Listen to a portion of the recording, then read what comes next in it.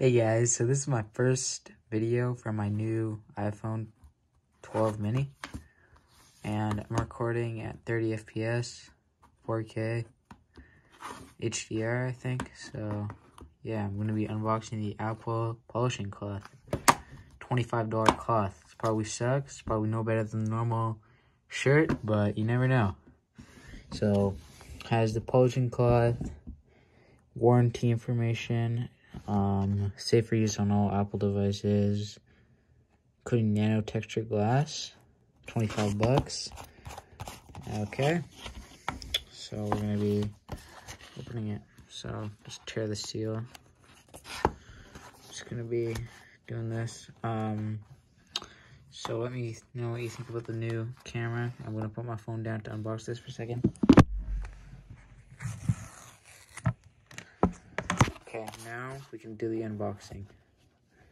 Uh, okay, there is the polishing cloth. It's very nice unboxing.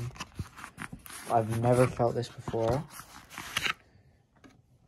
And, so, wow, it is very soft. Wow. Feels really nice. It's got the little Apple logo there.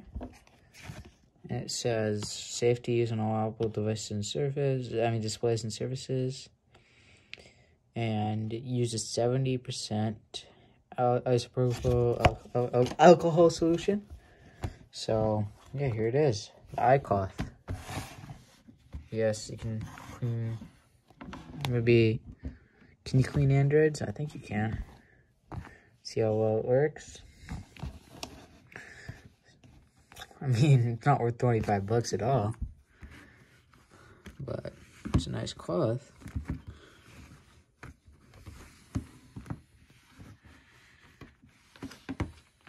It's my old Android. OG. I mean, looks pretty clean, I think. Maybe not. Still it's smudged on there, but those are pretty... They definitely need some alcohol to actually get rid of them, so I think it's pretty cool. Pretty soft. Not worth it, the 20 bucks, but still pretty cool to have. And I I wanted a, a, a cleaning cloth for my monitor as well, and obviously it's safe to use on the monitor, so yeah, pretty cool.